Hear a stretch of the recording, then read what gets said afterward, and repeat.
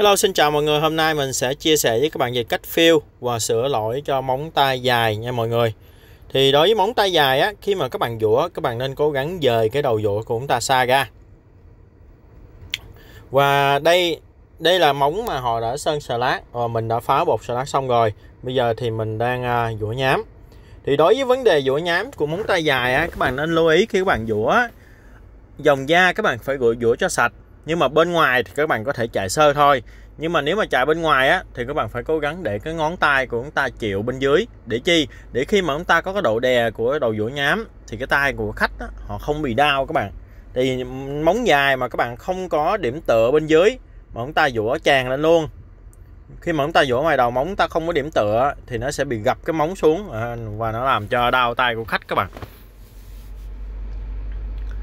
Đấy, thì chạy nhám các bạn cố gắng chạy cho thật kỹ dòng da cho nó sạch da đi. Sạch da là cái thứ nhất. Thứ hai các bạn chạy những cái phần mà nó bị à, hở đó các bạn. Sau khi các bạn cắt xong rồi cắt cái phần hở bỏ đi và sau đó chúng ta dũa cái dũa nhám này chúng ta dũa nằm xuống để chi? Để cho cái chỗ mà chúng ta đã cắt rồi nó bằng xuống các bạn nó bằng như móng thiệt. Để lát nữa khi mà các bạn đắp lên á nó sẽ khó thấy được cái lằn bên dưới lắm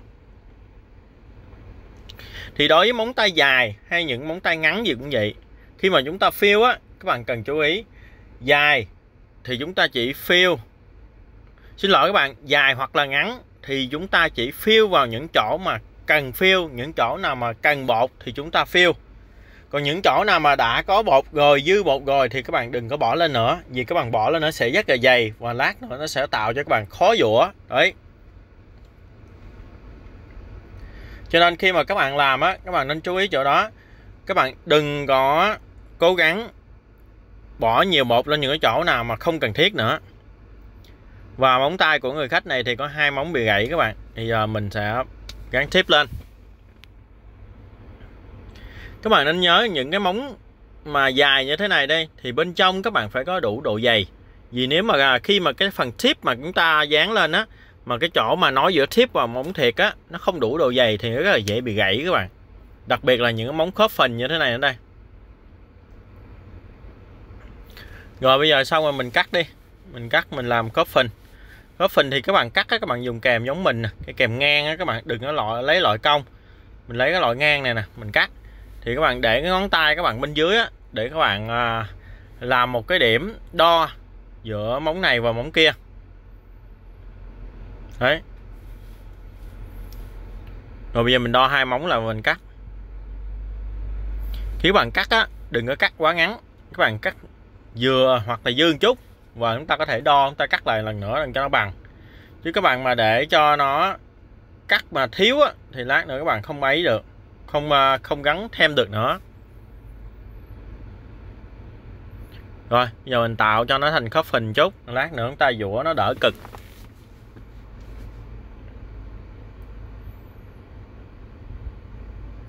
Đấy, dũa cái khớp phình này mình có hai cách. Các bạn có thể dùng cái à, dũa xếp để chúng ta dũa vô, hoặc là dũa máy này. Thì mình thì mình hay dùng cái dũa máy này để chi điện cho nó nhanh, các bạn, làm nhanh hơn. Rồi, bây giờ mình bỏ phơ lên. Bỏ phơ lên và bỏ layout lên. Layout là để mục đích là giúp cho móng của chúng ta bột nó ở được lâu và nó che được cái lằn hở, các bạn thì khi xưa mình không có dùng layout, nhưng mà từ ngày mà mình dùng layout thì móng mình nó nó ở được lâu hơn nữa các bạn. Cho nên mình khuyến cáo các bạn là nên mua một chai layout để chúng ta bỏ lên luôn, để cho móng được ở lâu hơn.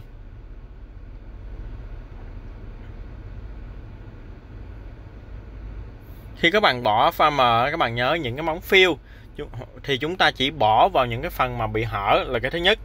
À, và những cái chỗ mà chúng ta cần phiêu bột là cái thứ hai. Và những cái chỗ mà không cần phiêu nữa thì các bạn không cần phải bỏ pha đó các bạn. Chủ yếu là cái dòng da. Các bạn bỏ cho kỹ cái dòng da vào. Có nhiều bạn mình thấy bỏ pha là phiêu hay là bộ mới gì cũng như các bạn bỏ hết viên móng. Nhưng mà chỉ đối với bộ mới thôi. Đối với gắn full set thôi thì chúng ta mới bỏ pha hết một móng. Còn đối với phiêu á, các bạn chỉ cần bỏ ngay cái chỗ các bạn cần phiêu thôi. Không cần phải bỏ hết móng đâu rồi giờ xong, mình sẽ đắp bột. Thì khi các bạn đắp bột các bạn nên lưu ý những cái ngón nào mà đã bị gãy mà chúng ta gắn tiếp lên. Thì các bạn đắp những móng đó trước. Để chi? Để trong cái quá trình mà chúng ta làm những móng còn lại thì móng mà bị gãy đã khô rồi. Tại vì móng gãy là hoàn toàn là bột mới hết, cho nên nó sẽ lâu khô hơn là những cái móng phiêu của mình. Cho nên mình phải làm trước móng đó để cho nó mau khô các bạn. Đối với phiêu á, thì khi mà các bạn phiêu á, các bạn cố gắng chuối ngón tay khách xuống nha những cái móng tay dài này càng phải chuối hơn nữa. Để chi? Để cho bột nó chảy các bạn.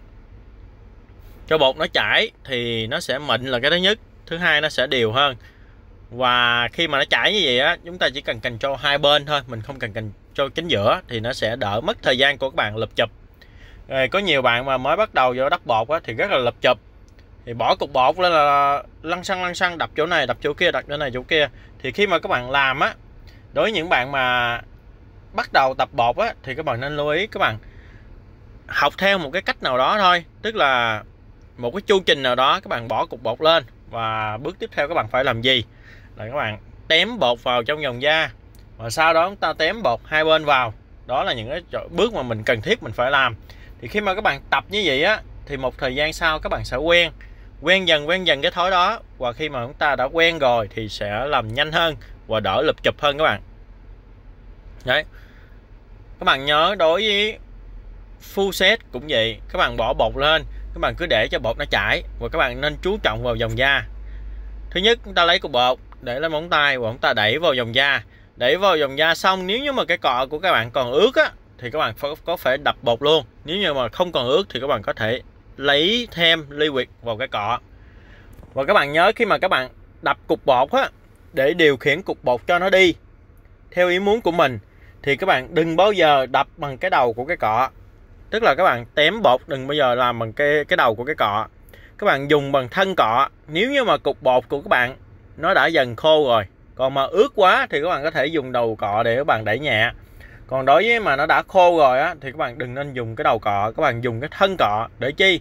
Vì cái thân cọ nó chứa rất là nhiều liquid trong đó. Các bạn, lúc mà các bạn đập á, thì cái nước liquid trong cái cọ nó sẽ lan ra trên bột thì cục bột của chúng ta nó sẽ khó khô hơn và giúp cho chúng ta dễ control được cục bột hơn. Đây, các bạn thấy không? Lúc mình đắp đây, đối với móng tay dài các bạn đừng có sợ phiêu rất là dễ dàng, các bạn các bạn chỉ bỏ bột lên những cái chỗ cần cần bỏ đây. Giống như là khu vực dòng da, là khu này mình phải bỏ cho kỹ nè. Đó, các bạn bỏ lên, đẩy đâu vào đó, các bạn vuốt xuống vuốt xuống. Các bạn không cần phải đập bột ngoài, ra tới ngoài.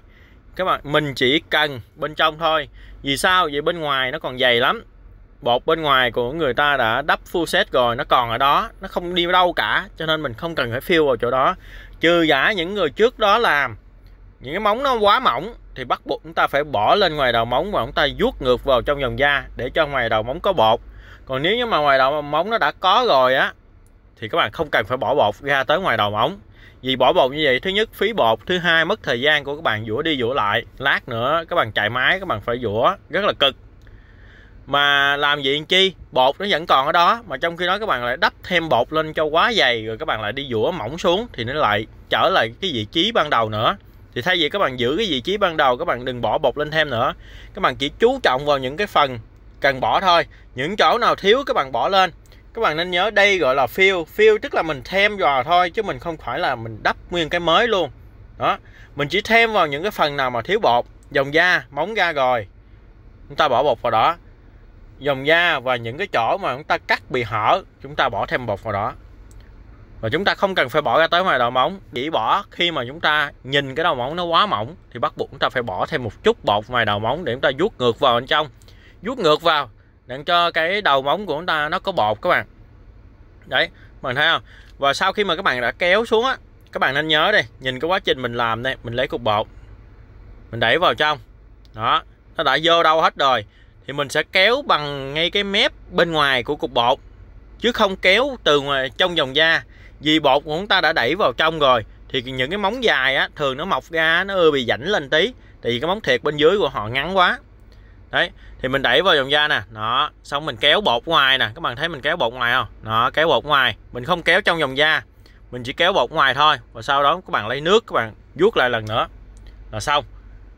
Ok, thì video ngày hôm nay mình chỉ chia sẻ đến đây thôi. Mong là các bạn sẽ thích video của mình. Nếu thích thì đừng quên ấn like, share và đăng ký kênh ủng hộ mình nha mọi người.